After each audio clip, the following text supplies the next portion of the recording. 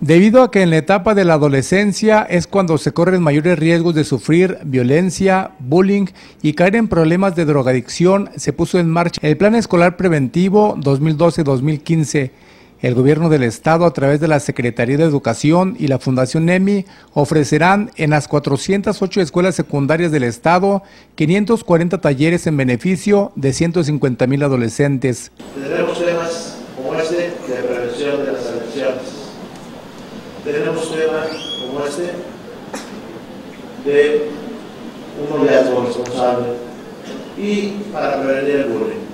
408 secundarias como esta tenemos en Coahuila, 5.500 cursos vamos a impartir ahora mismo. Solo durante el 2011, durante el año pasado, en nuestro estado ocurrieron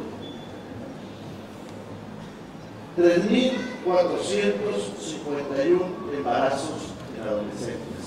Con ustedes los jóvenes, los padres de familia, maestros y el gobierno, juntos tenemos la gran responsabilidad de tomar las decisiones que sean necesarias para impulsar la sociedad de mañana, más justa, más igualitaria y con oportunidad para todos. Atestiguaron el inicio del programa la presidenta del DIF Coahuila, Carolina Vigiano, el secretario de Educación, José María Frausto Siller, el alcalde Jericó Abramo Mazo, entre otras autoridades. El presidente de la Fundación NEMI, Félix Gavito, señaló que han podido resolver en México y otras partes del mundo este tipo de problemas. Queremos darte herramientas para que sepas cómo todos juntos podemos resistir un problema como este, cómo todos juntos podemos poner para evitar que esta problemática exista aquí en nuestras escuelas, en nuestras comunidades. Con imágenes de Carlos Hernández, para RCG informó Eduardo Hernández.